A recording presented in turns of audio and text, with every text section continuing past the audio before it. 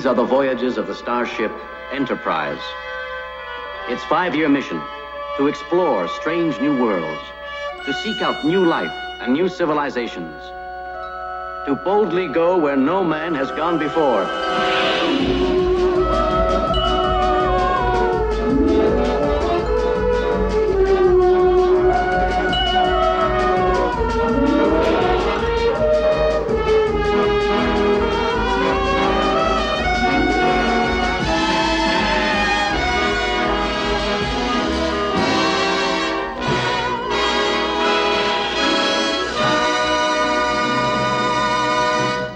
Hamha everybody! Vandread is a genre-defying sci-fi ecchi anime from the 2000s. Even though the premise of male versus female would leave most other ecchi anime as a generic fanservice harem, Vandread manages to avoid those pitfalls through its huge likable cast of unique characters.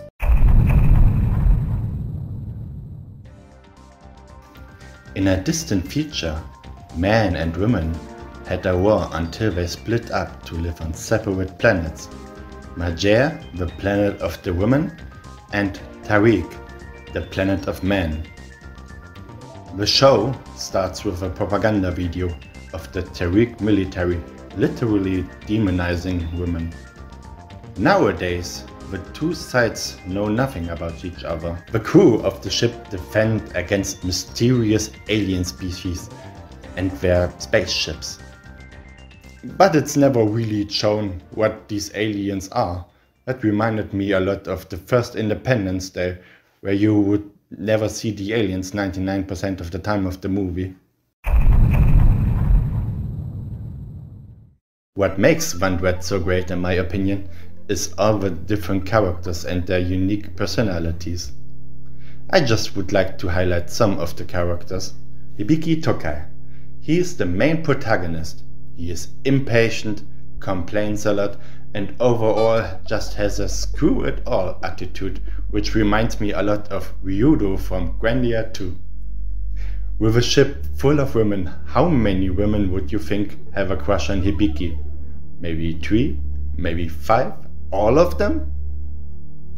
No, it's one and a half because Jura actually is just thirsty in general, so that doesn't really count. This leaves the female cast to display other characteristics than being hot and bothered for the main character, and instead establishes relationship of the crew in general, which I was not expecting and was very refreshing. Dita Liebely, the bumbly energetic female lead She's pretty much instantly infatuated with Hibiki from the get-go, which is notable because in their society it's not the norm. In fact, it is seen as strange behavior. Both female Maje and male Taraak use cloning to reproduce, which causes each of their children always have the same gender as their inhabitants. She tries to win Hibiki's affection through chasing him and calling him Mr. Alien a lot. Mr. Alien! Hey, Mr. Alien! Mr. Alien. Mr. Alien! Mr. Alien! Mr. Alien! Have you seen Mr. Alien around? No. Meia Gisborn. She's a stoic lone wolf which detests men and bumps head with Hibiki on several occasions when in battle. She rarely smiles and only speaks when she's spoken to, unless she's reporting to a captain or issuing orders. In a flashback, we get to see that Meia had to leave both of her female parents behind. That is one of the things Vandread is way ahead of its time in showcasing same-sex relationship as something normal. Granted, it's because of the single-sex planet, but still, it's not something you often see in any media even nowadays. Parfait Balblair she is the ship's chief engineer. She keeps the engine running, but also creates other invention here and there. She is also the first female to get along with one of the male prisoners, Duero McFile. Duero and Parfait both support each other and work together. But it is also hinted that Parfait maybe has some feelings for Duero. Aww. Pyoro. a small navigation robot that was assigned with the task to guard Hibiki. But when the pirates of Megere attacked, Pyoro got launched into a laser fence and got broken, and got its quirky personality.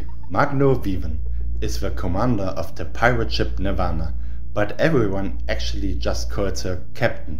She is one of the first generation colonists who set out to colonizing new planets. Magno is already ancient. Because of her age, she is very wise and has knowledge that hardly anyone else has.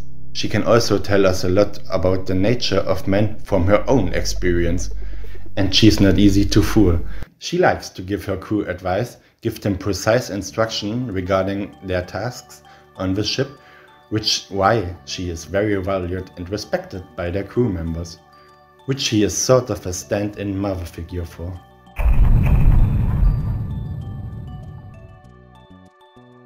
Vandread is notable for the revolutionary use of CGI during space combats. You have to keep in mind this show came out one year before Shrek and was pushing what could be done with CGI in anime at the time. I, personally, do not care about battles in anime that much.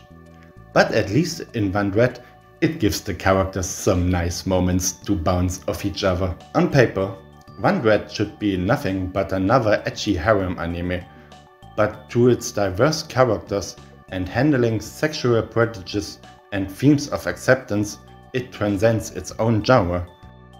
And with that concludes our little review of Vandread. I would give it a 10 out of 10. Vandread definitely holds up even 20 years later and could easily be considered a classic. I hope you enjoyed my review and bye bye!